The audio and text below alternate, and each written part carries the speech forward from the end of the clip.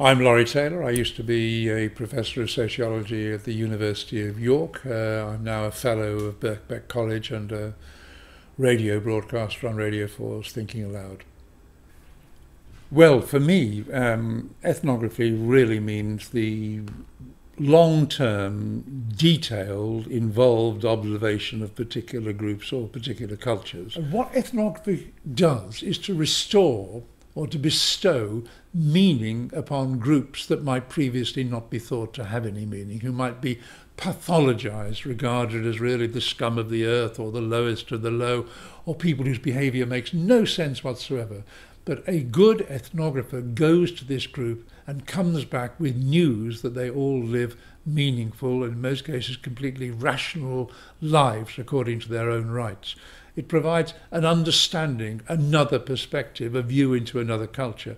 Of course, way back, we all knew that anthropology did this to great extent in all sorts of other cultures around the world. We're totally familiar with the Trobriand Islands and what went on in Samoa, thanks to Margaret Mead and others. But of course, this in sociology it tends to be the application of some of those methods used by those famous anthropologists to domestic, to industrial, to urban landscapes, to contemporary cultural formations, rather than those which belong to relatively exotic cultures or faraway cultures. After, after I'd done some work with Stan Cohen in Durham prison, and we wrote a book called Psychological Survival, which was a story of about how these men in the maximum security wing who are faced with sentences of 25 or 30 years inside so we spent some time studying these rather well-known criminals who were banged up in the maximum security wing of Durham prison. And one particular person, John McVicar, who was variously known in the tabloids as the most dangerous man in Britain, was one of our best informants when we were there. He was very, very lucid. He went on to get a very good degree in sociology. Um, when he came out of prison, I thought something needed to be done to help him, perhaps to acquire some money, to get a decent job.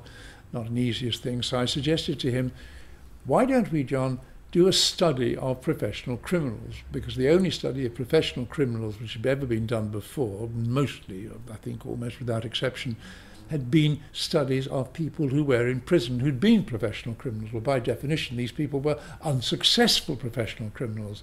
And when John had spoken to me ever before about the people he hung around with, the villains that he knew of various sorts, I suddenly realized, of course, these were successful working villains. Would he be so kind as to perhaps introduce me to them? Could we hang around with them, go to their clubs, meet them, see something of what they did? And he was initially pretty unwilling to do this because although he felt that he had moved himself away out of this criminal community, out of their culture, out of their mores, out of their way of life, out of their jokes, although he'd left behind a culture which had been really very solid and meaningful to him and one that he'd enjoyed and loved, his anarchic spirit had really been exemplified by many of the people who were in this professional criminal undertaking. So he didn't want to sell them out, so he very reluctantly agreed. I can remember it was a classic example, really. Classic example was the first person he wanted to introduce me to, he agreed to introduce me to, was a man, let's call him, uh, let's call him Jeff, who was a confidence trickster, who for many, many years, 30, 40 years, had been making a very, very good living out of defrauding banks in various ways. I mean, I remember turning to him saying, right, Jeff, can you tell me when you first got started on working on these uh, bank jobs. And he said to me, Laurie, Laurie, he said, that's a, that's a question. I said, well, yes, yes, I've got the tape recorder on. I was already, I had a whole sheet of questions. I said, yeah. He said, I, I, I, said, I don't do questions, Laurie. I said, well, uh, uh, no, I don't do questions. He said, no, no. No, he said, nothing to say, nothing to say, write down the sheet, write down the sheet. Yes, go down the station, don't do questions, nobody question. And I suddenly realized that one of the marks of this culture, this subculture, was nobody asked questions. I mean, they associated being asked questions with being investigated. And of course, when I went around to clubs and met many more so called professional criminals, villains, whatever you want to call them, I realised none of them ever asked each other questions. No one said, where have you been lately? Or what were you doing last night? Or, I mean, people could disappear for five years, but when they came back after five years away, nobody said, what have you been doing for the last five years? No questions. That was the culture. So that was my introduction. I suddenly realised one thing an ethnographer has to learn, apart from someone who usually issues questions and does surveys, is there are times when it's totally inappropriate to use a question as a way of extracting any information. Ethnography is a very good way of introducing people to sociology because to an extent everybody is already something of an ethnographer. Most people can give a reasonable description of what goes on in their local pub or what goes on in their local gymnasium or what goes on in their local supermarket. Most people have an observational capacity. Now this is a nice way to talk to students because you say to them, look, you don't have to be an expert, you don't have to be a specialist, you just have to be taking an interest in that which is around you, and then you're well on your way to becoming a sociologist, you're well on your way to becoming an ethnographer. And then, once you've done that, then you can gradually introduce them to rather more sophisticated pieces of ethnography. And then when you've done that, you can begin to introduce them, of course, to theoretical accounts, because you can say, look, we have several accounts here of the way in which gangs flourish. We've got Thrasher's story of the gang. We've got Cloward and Ohlin's story of the gangs that operate. We've got Albert Cohen's story of the way in which gangs operate.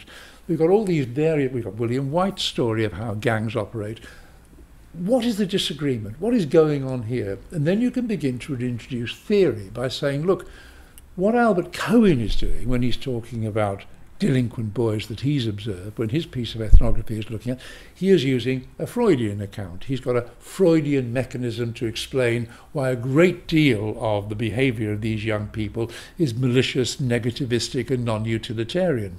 But if we move over here, we see another theory, Cloward and Ohlin, called opportunity structure theory, where they say one of the main determinants of whether you commit crime or not depends upon the nature of the environment in which you grow up. Some people grow up in an environment where the opportunity to become a professional criminal isn't there. There are no apprenticeships available. This is such a disordered, violent area. You can't become a professional criminal. So gradually, moving from the detail, the particular, the sense of locality, outwards towards theoretical accounts. So you can say, these are ethnographies, they're all ethnographies of the gang, but they differ. They are all theoretically different. They are all based upon slightly different assumptions. They use the data they've got to confirm slightly different theories. Then all of a sudden, theory doesn't seem such a terrible thing. There's, of course, there's a great deal that social scientists know which isn't generally and freely available to other people. There are there is a lot of stuff there which needs to be put out into the world where people need to find ways to introduce people to it. So we don't want to think of sociology as something which simply goes on in the academy. As long as it remains an academy subject, then people are still likely to back away from it in the way they back away from, you know, they feel they're disqualified somehow. You know, they feel, well, I'm not a geographer, so how can I comment upon the way in which this river interrelates with the landscape? So I think we have a duty as sociologists, and Foucault used to say this, to undermine the academic teaching of sociology at the same time as we promote social science. You know, we must be careful not to believe that something called social science only resides in universities and in degree structures. We must be aware that people attempting to resolve questions raised by the way we live and live together and tolerate and manage are all around us. That is social science going on, and we must be careful not to make sociology a club which only some people can enter and only some people can practice. Sometimes we may have to put up with the fact that there are too many amateur sociologists around and we wish they knew a bit more and didn't put their vapid opinions on the television, on the radio so regularly. But they're all increasing the appetite. And I listen to the Today programme in the morning. One third of the items are really social science items. When I look at television at night, I can say, good heavens, this is, here we are, another social science item. What's social science got to say about this? It is, it is everywhere.